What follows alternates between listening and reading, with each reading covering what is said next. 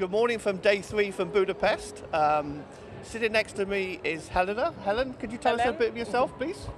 Well, I'm from uh, Sweden and uh, I uh, breed Wheaten Terriers, and uh, we had a bit of a journey to get here 200 uh, kilometers, and uh, it took us about 27 hours in a camper van, 14 dogs, and four people Blimey. driving the whole time. So, how, um, did you stop or did you just make the trip in one hit? Yeah, we didn't stop, we just uh, stopped to eat some and take the dogs off, out, of course, but then we just drove the whole time.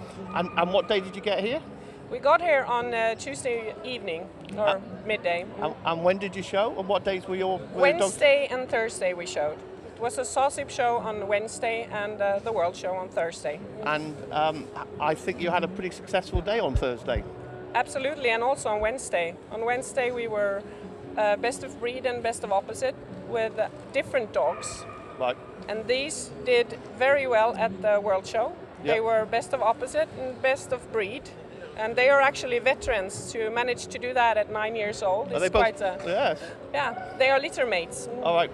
So the dogs weren't too tired when they came home after that long when they got here after that long trip. No, not at all. They were they were actually very happy and go lucky. Mm. And they must have shown well for you to win the, the, the best of breed and the best opposite. So, I mean, obviously we work for Eukanuba, but do you think nutrition makes a difference to keep the dogs in good physical condition after such a huge journey?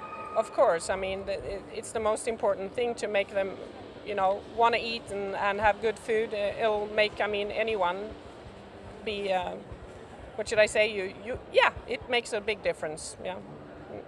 Good.